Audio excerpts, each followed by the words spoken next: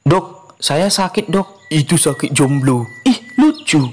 Saya kan belum ngomong dok. Oh iya, benar pula. Ya udah, apa keluhannya? Kepala saya sering pusing dok. Sakit jomblo.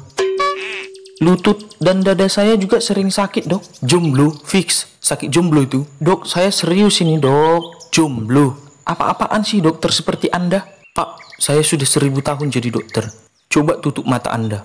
Fokus kepada penonton kita saat ini. Fokus, fokus, dan fokus.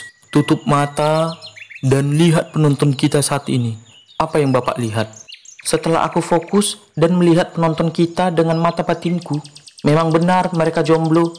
Tapi apa hubungannya dengan saya, dok? Nggak ada sih. Saya cuma mau mempertiga saja sama yang nonton ini. Kalau dia jomblo.